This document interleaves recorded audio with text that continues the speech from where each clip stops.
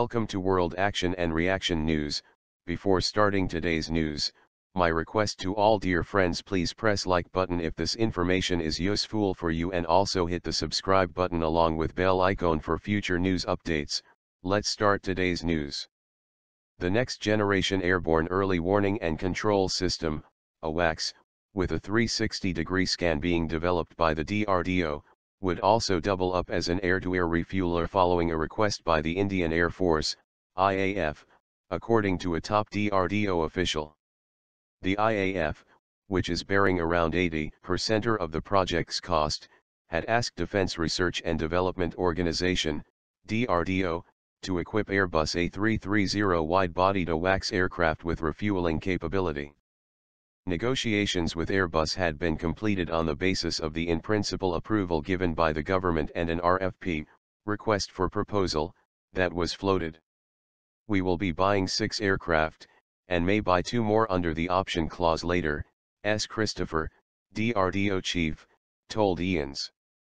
The Airbus A330, a medium to long-range wide-body twin-engine jet, which emerged as the single bidder for the tender floated by India, is likely to be the platform for the next generation AWACS systems, which will double up as mid-air refuelers. Adding this refueling capacity will give a multifunctional role to the platform.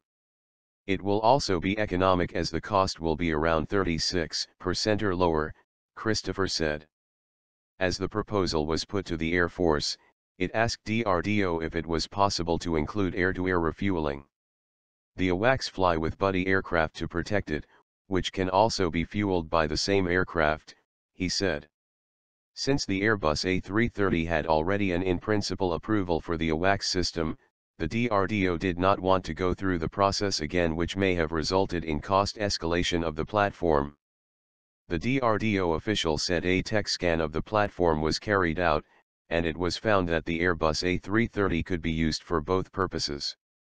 The committee undertaking the tech scan had a member from the DRDO, apart from the IAF and the Defense Ministry. The IAF at present has two AWACS systems the Israeli Falcon AWACS on the Russian IL-76 and an indigenous system mounted on a Brazilian Embraer 145 that was handed over to IAF by DRDO at the Aero India 2017. Two more Embraer aircraft are being fitted with the system. The IAF at present operates six IL-78 planes for air-to-air -air refueling and has a requirement for more. Incidentally, in 2016, India had scrapped a deal for acquisition of six Airbus A330 mid-air refueling aircraft. The indigenous AWACS have a 240-degree scanning capability, which means it scans the area on both sides, but not in the front or back.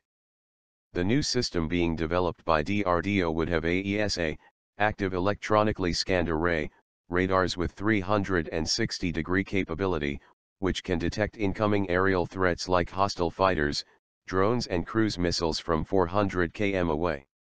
India will be only the second country in the world after Israel to develop such a system. The new system is scheduled to be ready in seven years. Thanks for watching. I hope you like this news. Please share your views in comment box. Please like and share this video. Press subscribe button and bell for auto update to you regarding my channel World Action and Reaction News, Warn.